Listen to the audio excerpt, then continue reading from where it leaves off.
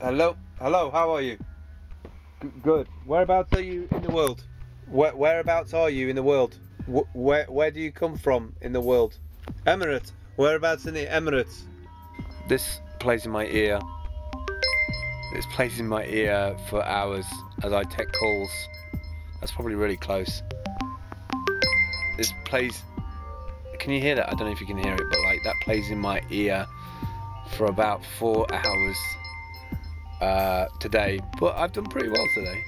So today was kind of uh, an average Monday. I don't know what it is about Mondays, but I have real trouble getting going on a Monday. But I did do something today, which means that next week is a bit more interesting.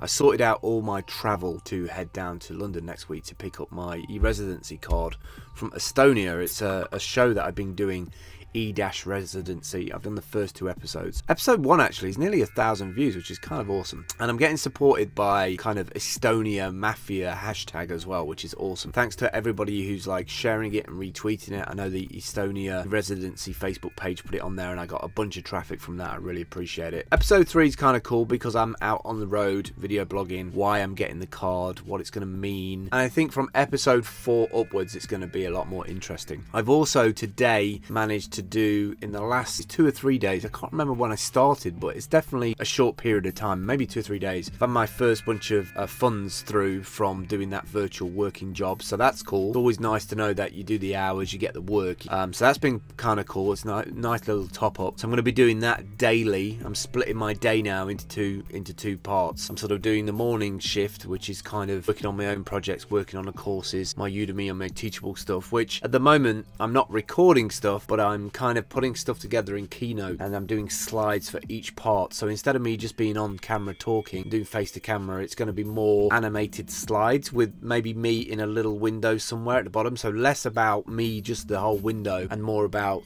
steps. And the steps are easy for me because I can follow it as well. Just just grinding straight through shift. You've got a workload of stuff to do, ticking each thing off as you can. Some of the calls today, I had a great call in that I had a 60 minute call, which was amazing. A straight through call with a guy from Turkey who's been doing online digital stuff for five years, been selling motion graphic templates on uh, Video Hive. Uh, he's done very well, thank you very much, out of stuff. One of his particular motion graphics, it's been downloaded 4,723 times and been charging $42 a pop, hop for it. So the guy's good, he's doing alright. And he's moving to London to set up a company, so he needed some help with his introduction and his show reel, and he's going to get back to me. So it kind of fills me up with a bit of hope that people who are doing digital stuff online, he knew nothing about motion five years ago.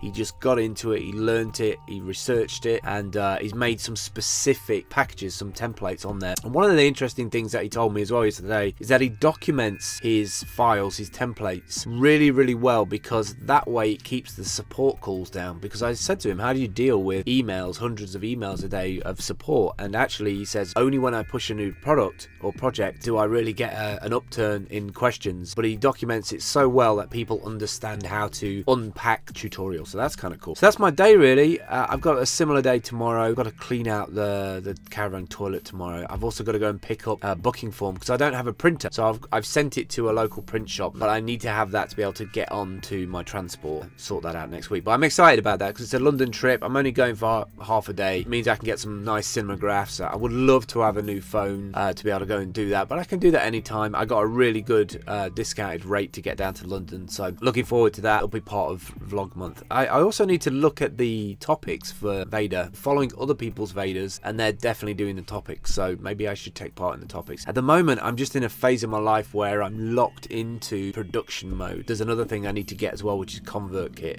which I may get this week, so if I get it, we will do a little screencast on that. Do subscribe. I've had 41 subscribers in the last seven days. Awesome, so keep them coming. Subscribe. I'll see you tomorrow.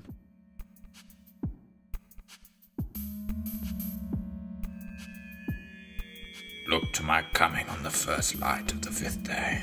At dawn, look to the east, just past that Starbucks.